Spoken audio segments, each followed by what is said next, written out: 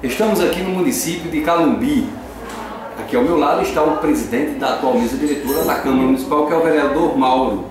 Mauro, como presidente para essa legislatura de 2015-2016, existe algum, alguma programação da atual mesa para adquirir mais benefícios para casa, como reforma no prédio, na área física, aquisição de equipamentos, de utensílios? Existe algum pensamento nesse sentido, presidente? É, com certeza, eu já estou mandando preparar uma, uma licitação. Inclusive eu, a Câmara requer muita necessidade porque já que a gente não recebe uma verba que tenha como recuperar a Câmara. Então eu optei, não recebo o salário do vereador, optei por receber o salário de professor, apesar de ser menos, para que fizesse uma reserva de caixa, com essa, com essa reserva de caixa pudesse realizar uma reforma no prédio da Câmara e de suas instalações. Bem, uma atitude extremamente louvável. Parabéns aí pela iniciativa, Mauro, que sirva até de exemplo, né? Para muitas câmaras também pequenas que dependem unicamente do repasse da, da prefeitura, né? No dia do duodécimo.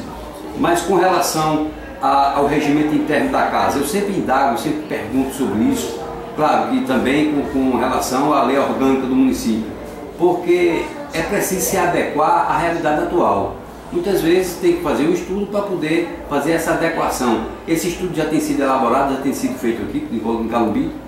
Com certeza. Assim que eu assumi a Câmara, o regimento interno já foi reformado agora em 2012 e já passei a lei orgânica para uma assessoria jurídica especializada para que ela fizesse uma, uma proposta de, de emenda para que essa seja votada até acho que final de julho a gente está dando entrada para atualizar a, até a última atualização do Congresso Nacional, para a gente deixar o nosso município kit com a população de seus direitos e seus deveres. Presidente. E com relação ao governo do Estado, você que conhece bem os problemas do município de Calumbi, aproveitando aqui o espaço da imprensa através do portal Comunicação, é seu pedido em seu nome, em nome de seus pares, para que o governador Paulo Câmara destine mais ações do governo aqui para o município. É, com certeza. A gente tem um déficit muito grande habitacional no Brasil inteiro não foge a regra aqui em Calumbi. A gente espera que o governador, nessa área de saneamento básico, também necessita, no caso do rio, o rio aqui, o esgoto é jogado diretamente no rio. São ações que a gente tem, vem correndo atrás. Também a gente está correndo atrás de projetos através do deputado Beto Acioli, para que a gente consiga ginásio de esporte, porque é praticamente impossível praticar educação física aqui no sertão sem que haja cobertura.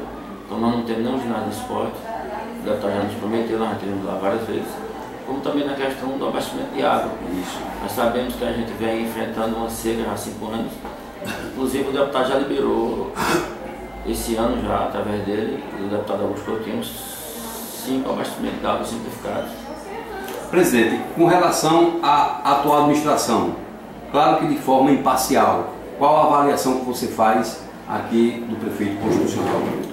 Olha, prefeito, na verdade, a gente não faz política com boa vontade. É só com boa vontade não faz. O prefeito não conseguiu ter um desempenho melhor em relação a muita dívida da administração anterior.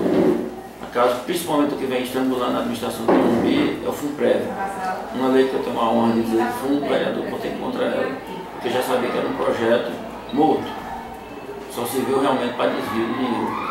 O atual, a atual administração vem sofrendo exatamente o maior gargalo hoje do município se chama a Previdência Própria, que foi criada em 2001, mas que até 2008 não foi repassado nenhum recurso para ela.